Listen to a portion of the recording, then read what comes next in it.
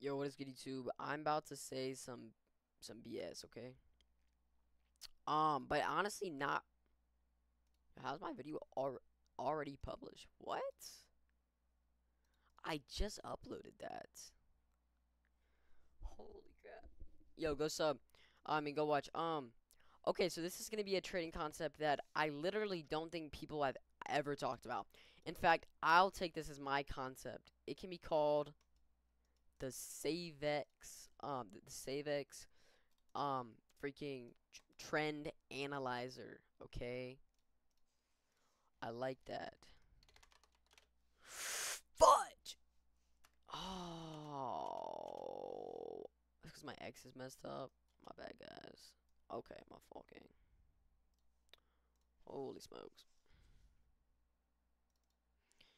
E trend predictor. Nah, nah, nah, nah, nah. Ooh, future trend futures. Oh, not trend.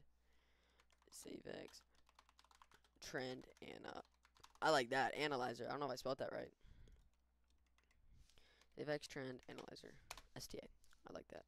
All right, so what this is is it's bro. It's such a simple concept. Okay. So whenever you see price, say you're in a long position, right? Okay, and um, you enter long just based off some some reasons. You enter long right here, expect your price to go up there. Now, hear me out. Hear me out. You expect price to go like this, right?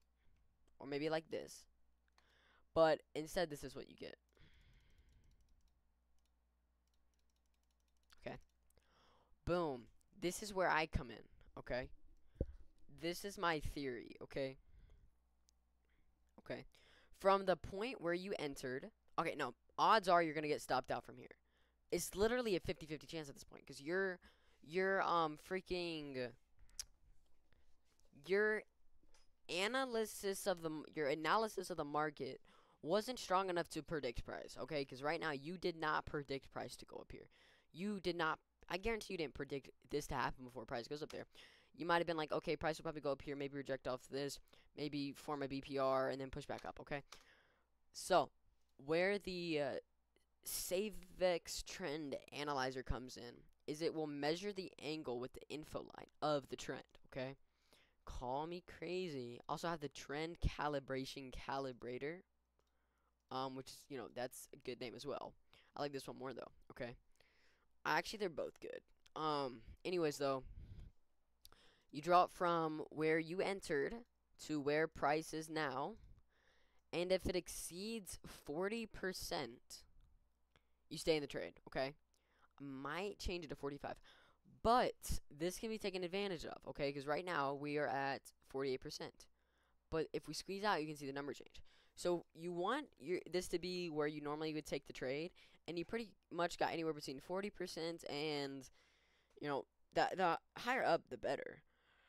You know, but uh, anywhere between 40% and up, okay? So, like right here is fine, but if price is moving at this angle, nah, Okay. So what this is doing is it's seeing if your analysis of the market was accurate. Because if it is, price should move to your take profit. But if not, it won't. Alright, now I just, I don't even incorporate this in my trading. But I thought I'd put it out there as a concept. Because low-key I do see potential in this. I 100% see potential in this idea. Of, you know, the angle of the markets. Because that's not even crazy to say that, to be honest. Like, that's not even crazy to say that. Because if we look here, okay, the trend calibration calibrator. Bro, this trade I took was literally freaking 80 degrees, okay?